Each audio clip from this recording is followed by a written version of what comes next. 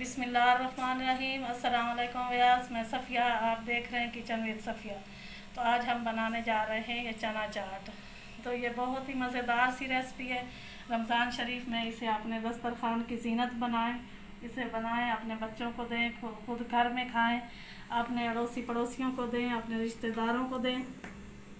बहुत ही मज़ेदार सी है हमारी चाट। और चाट बनाने से पहले मैं आप लोगों से मेरी एक रिक्वेस्ट है कि आप मेरे चैनल को अगर सब्सक्राइब किया हुआ है तो आप लोगों का शुक्रिया।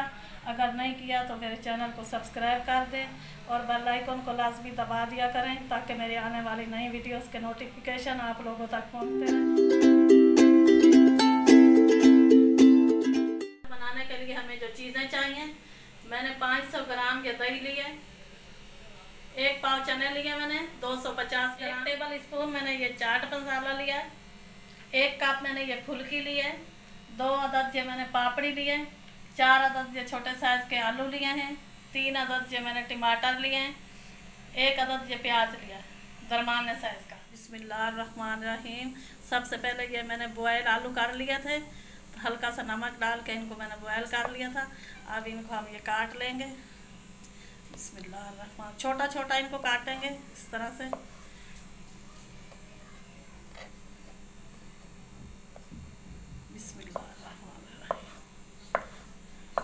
ये साइज़ ये देख लें ये वाला साइज़ हमने इसका काट लिया है। बॉयल आलू हैं ये। इनके अंदर हमने नमक डाल के इनको बॉयल कर लिया था। ये हमारी अपनी घर की रेसिपी है। तो मैंने सोचा कि आप लोगों के साथ ये रेसिपी शेयर कर दूँ, ताकि आप भी अपने दस्तरखान की रमज़ान शरीफ में इसे जीनत बना सकें। बिस्मिल्लाहिर्रहमानिर्रहीम। अब इसी तरह से मैंने ये चारों आलू काट के इसमें डाल दूँगी। आलू मैंने चारों काट लिए हैं मैंने मीडियम साइज़ के आलू लिए हैं, बहुत बड़े आलू नहीं लिए, इन्हें मैंने काट लिया है। अब ये मैं टमाटर कट कर लूँगी। बिस्मिल्लाहिर्रहमानिर्रहीम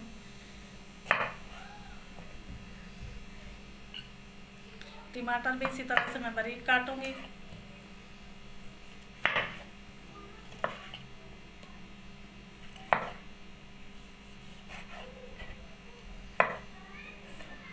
टमाटर हो सके तो थोड़े नरम वाले लेना। सख्त टमाटर नहीं होने चाहिए। थोड़े नरम टमाटर इसमें चलेंगे। चले जी, अब इसी तरह से मैं ये तीनों टमाटर भी काट भी हमने कट कर लिए। ये भी इसमें हमने डाल दिए, तीन अदर टमाटर भी। चले जी। अच्छा जी, अब ये दही को हम फेंट देंगे। ये हमारा घर का दही बना हुआ है। ये देख लें कितना मक्खन की तरह ये दही है। घर की ये हमारी घर की दही बनी हुई है। ये देखें कितनी मक्खन की तरह ये दही है। बहुत ही मज़ेदार सी ये हमारी दही बनी हुई है। अगर आप भी ऐसी दही बनाना चाहते हैं तो किचन में सफिया चैनल पे जाएँ और ऐसी दही बना लें देख कर ये देख।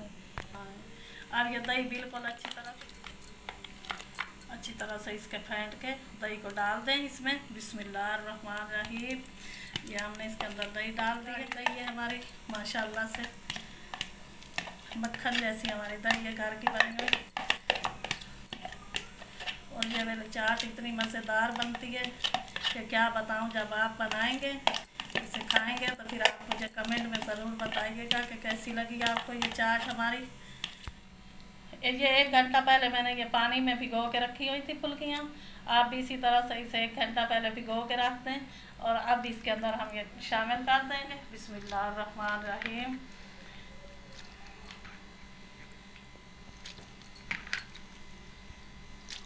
अब ये इसमें फुल्कियाँ चली गई हैं। चलो जी, अब मैं प्याज़ों के बारे में आपको बता देती हूँ। ये प्याज मैंने चार घंटे पहले पानी में डाल के इस तरह से रख दिए थे, ताकि इनकी कड़वाहट जो है वो ख़त्म हो जाए। और चार घंटे के बाद अभी मैं इन्हें इसमें डाल रही हूँ। ये देखें, पानी से मैंने अभी भी निकाल, नहीं निकाला। आप भी इसे मत निकालिएगा। जब डालना है तो बस पानी के अंदर से ऐसे निकाल के इन्हें डाल दें। तो इससे बहुत अच्छा ये टेस्ट आता है, बिस्मिल्लाहिर्रहमानिर्रहीम।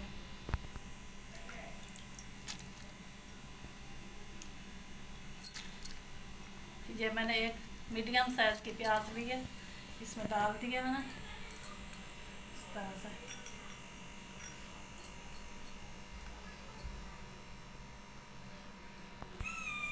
अब ये चने मैंने रात भर भिगो दिए थे, खाली। इसे खाली पानी में मैंने भिगोए थे, कोई मैंने इनमें सोटा नहीं लगाया। ये देख लें, कितने अच्छे से माशाल्लाह से गल चुके हैं ये। सुबह मैंने उठ के इनको अच्छी तरह से बॉयल कर लिया, हल्का सा नमक डाल के। बस और इनमें कुछ भी नहीं डाला मैंने, खाली नमक डाल के इनको मैंने बॉयल कर लिया। रहीम अब ये चने मैं इसमें डाल देती हूँ।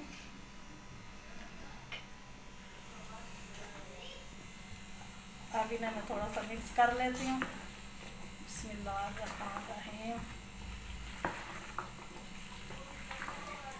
और इसमें कोई नमक वगैरह, मिर्ची वगैरह डालने की कोई ज़रूरत नहीं। खाली ये चाट मसाला में डाल रही हूँ। ये बाज़ार से आपको बसानी मिल जाएगा। यही मैं डालूँगी इसमें एक टेबल स्पून। इसी से इसका टेस्ट बहुत ज़्यादा अच्छा आएगा। और मिर्च मसाले बाकी चीज़ें लेने की इसमें कोई ज़रूरत नहीं है। बस खाली यही चाट मसाला एक टेबल स्पून डाल दें। अगर फिर भी आपको ये कम मसाला लगे तो थोड़ा सा मसाला और ऐड कर दें। मेरे लिए ये परफेक्ट है, इतना ही मसाला हम डालते हैं। इसमें एक टेबल स्पून ये मैंने भर के मसाला डाल दिया। अब इसे मैं मिक्स करूँगी। अच्छी तरह से। ये हमारी चाट जो है, वो बनकर तैयार हो चुकी है। अब इसे हम डिश आउट करते हैं।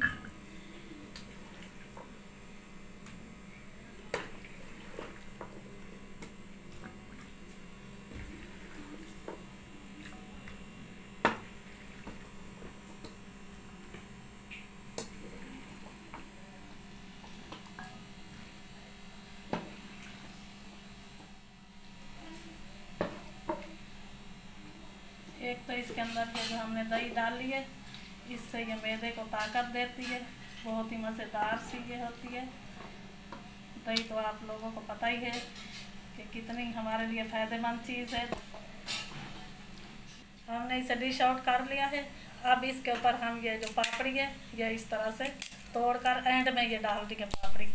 इस तरह से ये डालकर इसके ऊपर तोड़कर इसे डाल दें। ये देखें। जितनी आपको अच्छी लगे, उतनी ही आप इस पेपर डाल दें।